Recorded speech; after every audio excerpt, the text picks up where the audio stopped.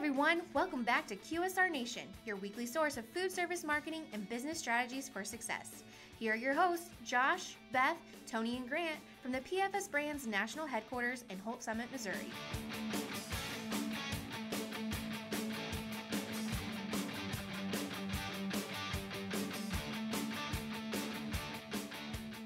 Hello, everyone. Thanks for tuning in to another episode of QSR Nation.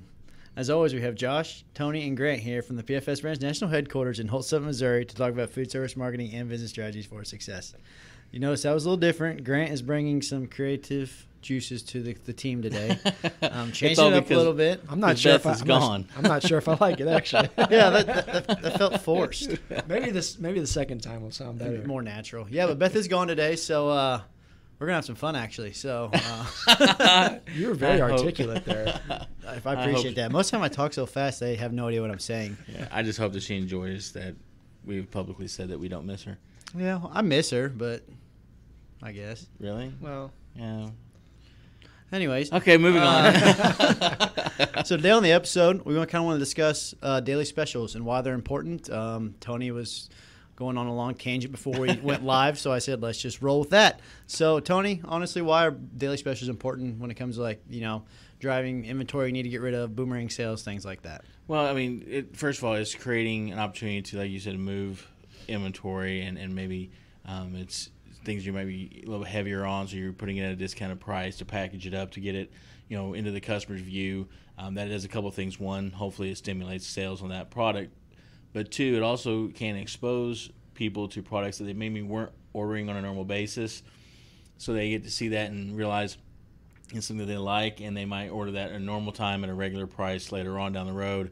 Um, but the biggest thing to me why daily specials are really important still is that boomerang business. It's that getting people to come back in. They know they can only get, um, for instance, we're going to launch a taco salad at um, one of our restaurants here that we have, and uh, we're to only have it available on Thursdays. Uh, we did that with the fish tacos only on Friday through Lent, and we just been a you know continued ask for us to bring it back. So we are going to do that, but instead of just making it a daily menu item, we're going to put it on a special, keep it fresh, keep it unique, and hopefully bring that customer in on that day for that specific business.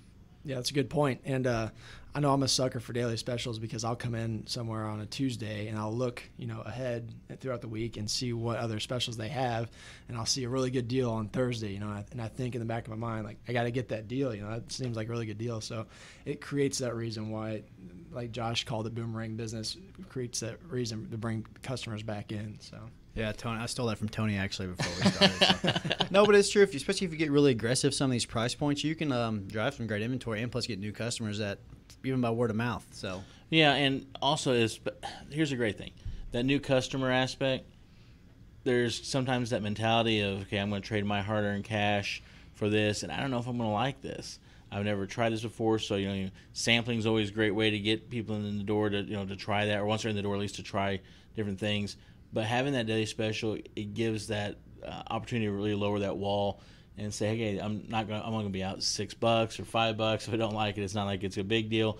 But it gives that opportunity to try, change things up a little bit, make it fun, and of course, get your staff excited about it too. Because at the end of the day, they're they're the ones really are selling the product and really selling the experience. Yeah, uh, people always want to feel like they they've got a, they got a good deal. So yeah, for sure, and, and it doesn't necessarily have to be something off the wall either, and it could be like something on that specific day every single week to create that routine. I don't know it's not really daily special, but uh, Tony and I used to go to uh, was it Long John Silver's with Carl? Yes. Every Wednesday because they had the senior special, so he'd always want to go there, and we'd always get stuck going with him because we wanted to bro out with him. and, you know, I mean, it's just go. You can get people if they find what they like, if it's a deal like that, or if it's a certain food item that you only serve on that specific day, they'll keep coming back for more if they actually like it. If you, yeah, if you can start building habits, then you're really in business. well, yeah, and like Josh mentioned, we called it was the the mandated mandate oh, yeah. or whatever. Yeah. And, That's uh, nice. Yeah. we, won't, we, won't, go much deeper. yeah there was a lot of wisdom shared with us yeah. youngins. Um, and I'm, yeah, I'm going to say I'm a youngin. I'm not though, but he was older than me, so yeah. I'm going to call it. You're using young with liberty there. Yeah. yeah. but you know, it is again, it, it developed a habit, like you said, Grant. I mean, it was something that that we put on our calendar, we scheduled out, and we did it. And we wouldn't have been going to that restaurant if it wasn't for that Wednesday Right. special Yeah. because that's where Carl wanted to go. Um, and it was a, it was a great thing though. It turned into a habit, and you know he may have gotten the senior discount, but we didn't. We did. so that daily special, you know, it may appeal to one of the group, uh, true, but everybody yeah. else that's with them may not necessarily just order the specials. So it's something that's just really great to be able to offer that, so someone else will say, "Hey, this is a deal, at least for me," and talk their buddies into going and paying full price like Josh and I would do. Yeah. yeah. So, uh, yeah, definitely daily specials can really drive some traffic to you. I want to bring up something that I saw the other day. I think you posted it, Tony, about the uh, six spicy nugs that Wendy's Oh, yeah. got right now. Yeah, first of all, thank you, Wendy's.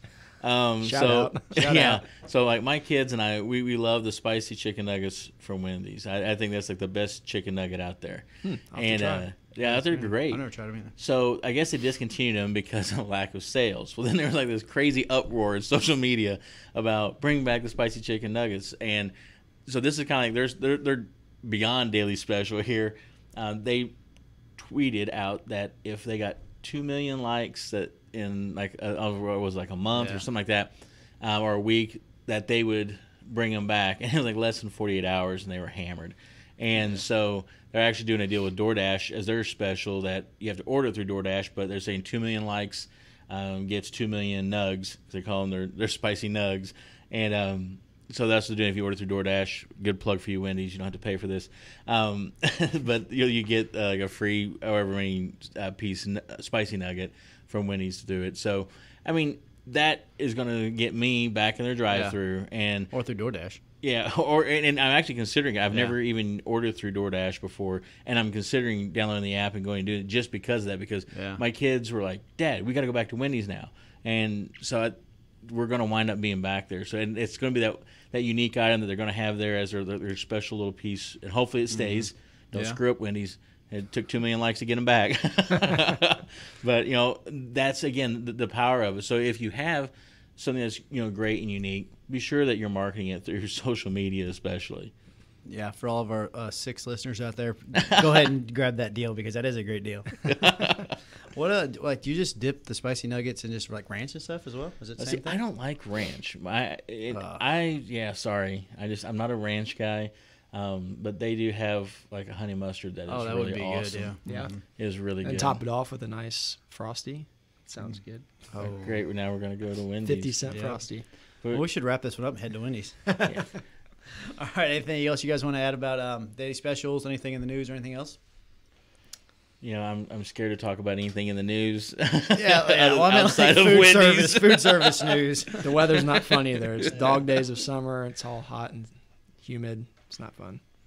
It's true. But those frosties are cold. Yeah, And those right. spicy nuggets are waiting.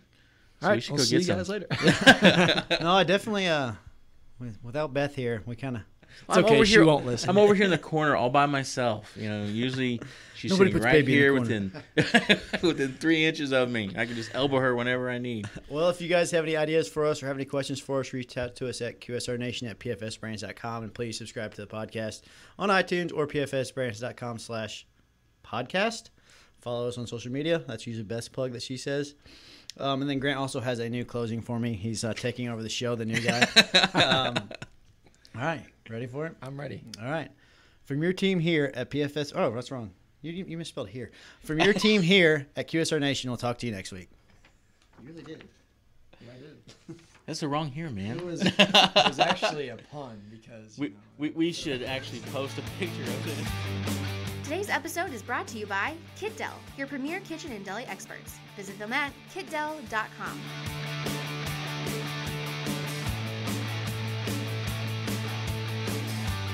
Be sure to stop by next week for another episode of QSR Nation, and be sure to check us out online at pfsbrands.com forward slash podcast.